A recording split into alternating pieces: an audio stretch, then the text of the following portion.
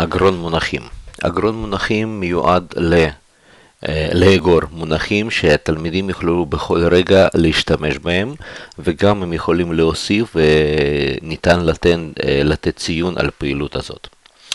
אני משתמש באגרון מונחים כמשהו שאני מכין, שתלמידים בכל רגע יוכלו לגשת ולדעת אילו מונחים הם חייבים ללמוד.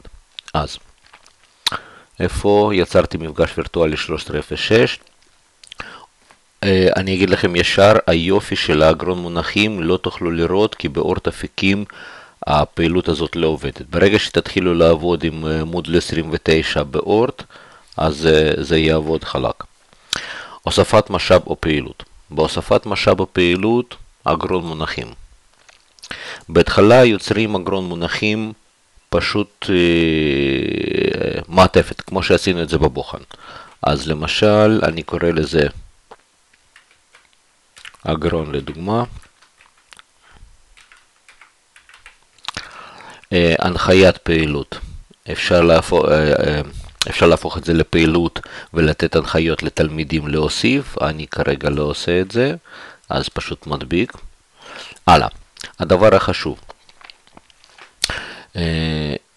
מונחים, נכנסים למונחים, כאן אה, ברירת מחדל מאושר זה כל הפעולות האלה שייכות 1, 2, 3 ו-4 אם תלמידים אה, ממלאים את האגרון. מאוד חשוב לעשות צור קישור באופן אוטומטי לאגרון מונחים. מה זה אומר? זה בעצם מאפשר ברגע ש... אתם סימנתם את ה-V, והמילה שהקלדתם באגרון אה, המונח שהקלדתם מופיע בצורה כלשהי בתוך אתר מודל, לא משנה איפה. זה יכול להיות בפורום, זה יכול להיות בדף תוכן מעוצב, זה יכול להיות במטלה. באופן אוטומטי מתקבל קישור, זה מסומן, המילה מסומנת כקישור, ואפשר לפנות לאגרון מונחים ולראות מה משמעותה. אז לציין, כן. אה, שמירת שינויים וחזרה לקורס. הלאה, יש לאגרון מונחים, כרגע הוא ריק, נכנס לתוכו. הוספת מונח חדש. הוספת מונח חדש, נניח אני מוסיף מונח מהירות.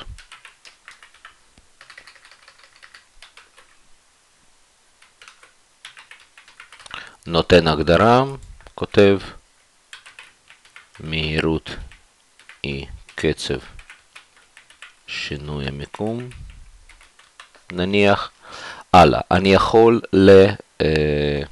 להגדרה הזאת להוסיף כרגיל, כפי שאנחנו למדנו, תמונה, אני יכול להוסיף וידאו, אני יכול להוסיף קובץ, אני יכול להוסיף היפר-קישור, לעצב את זה, להוסיף נוסחאות, כל דבר שאתם רוצים. אה, וזהו, אה לא. יש גם פה למטה עוד פעם שואלים, האם יש ליצור קישור באופן אוטומטי למונח הזה?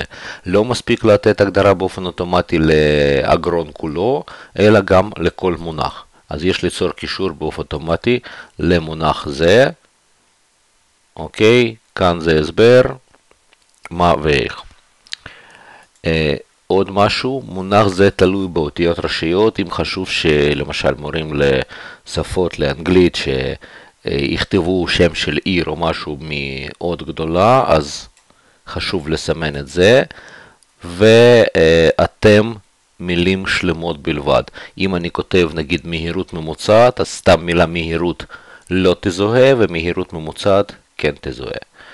אז עשיתי שמירת שינויים. הנה, כרגע יש לי מושג כלשהו, המושג הזה אני יכול לערוך, אני יכול לשנות את זה, אני יכול למחוק אותו, אה, ואני יכול לעשות ייצוא לתיקיית עבודות, לא, לא עשינו את זה. אה, אתם יכולים אחר כך, אם אה, מתמלא, אם האגרון מתמלא ויש הרבה ערכים, אז אפשר לעיין לפי תאריך, או אם תלמידים ממלאים, אפשר לפי תאריך אחרון בסדר עולה או יורד, או לפי מחבר, שוב, אם מדובר על תלמידים. Uh, עד כאן יצירת אגרון מונחים.